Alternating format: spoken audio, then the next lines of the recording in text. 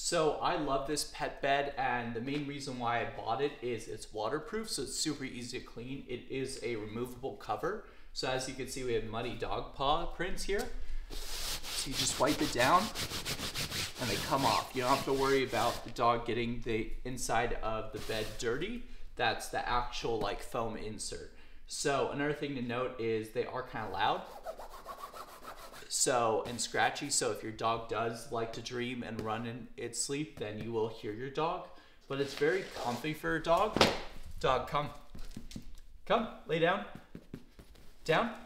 Good girl. Down. So dogs love it. Our dogs sleep on this all the time and really enjoy this bed. So if you're looking for a new bed for your dog, we highly recommend checking it out.